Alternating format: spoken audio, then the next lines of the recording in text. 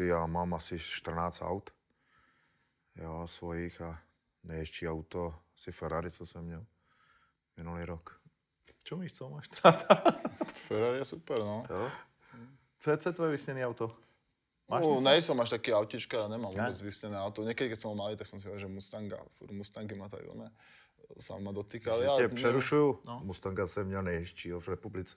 Jo? A to? Ve 27 jsem měl Shelby. No, to by sa A počkej. Shelby je jak kradl Nicolas Cage, ne? V tom. A měl ale to novější. A měl No, no, no. Ale je to, je to, je to tenhle ten sportáček. Ano, ano. To byl ten jako grál v tom filmu, je to tak, ne?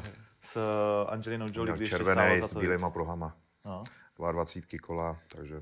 nekecej. No tak hele, tak musíme se s tím kámošit trošku. s.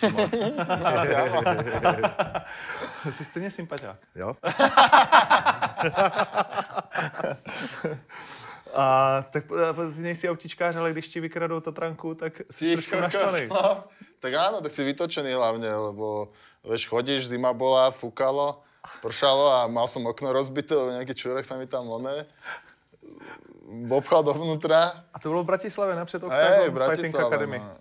Uh, Ne, ne, ne, nebolo Ne? to pred oktagonom, bolo to na, pred robotou vlastne sa dá povedať mojou.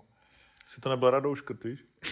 A to bolo ešte pred zápasom, vieš, že by ma tak chcel akože už načať, no neviem. Um, tuším, bol v Tajsku vtedy, takže...